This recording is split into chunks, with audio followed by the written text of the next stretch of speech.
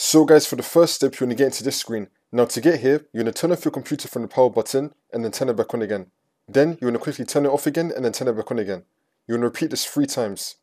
And then once you quickly turn off your computer and turn it back on again three times, the fourth time when you do it, it's now going to take you into this screen. So you just want to turn off your computer from the power button and then turn it back on again. You want to repeat this three times. It's going to say that your PC did not start correctly. You want to click on advanced options. And then once you're on this, you want to click on troubleshoot, advanced options, and then command prompt. And once you're on this, you want to type in bootrec space forward slash fix mbr. Click on enter. And now you want to type in bcd edit space forward slash export space c colon backslash bcd backup and click on enter. And now you're to type in attrib space c colon backslash boot backslash bcd space dash h space dash r space dash s. Click on enter.